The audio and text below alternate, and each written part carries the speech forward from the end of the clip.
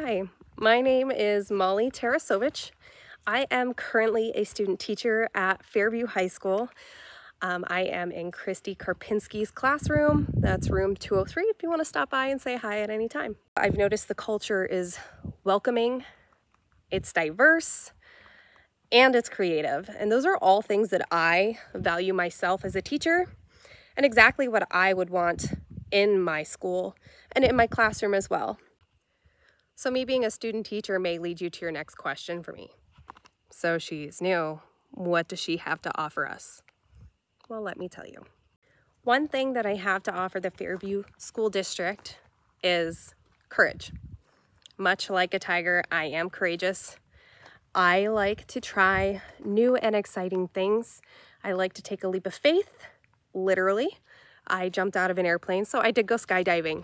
Um, trying new things and being courageous is part of breaking the barrier between what you're doing now and what you're capable of in the future. So if you take that extra step and push yourself, there is no limit. Picture or it didn't happen. The second thing that I can offer the Fairview School District is much like a tiger, I am confident. I had confidence when I went back to school as an adult student to obtain my teaching certification. It took confidence in me to do that because I was stepping out of my comfort zone and pursuing the career that I've always wanted, to be a teacher and to make a difference in the lives of students. Outside of my professional development, I do also apply my confidence in learning new things in my personal life. It took confidence for me to be able to get on a bike, teach myself how to drive. I had to study to pass the exam. And with my confidence, I did it. I knew what I wanted, I went after it, and I got it. And I plan to do exactly the same thing to get my dream job at Fairview School District. The last thing I would like to leave you with, even though there are plenty of other things I could go on about, is like a tiger, I am warm-hearted but fearsome. I am a mother. I have a daughter.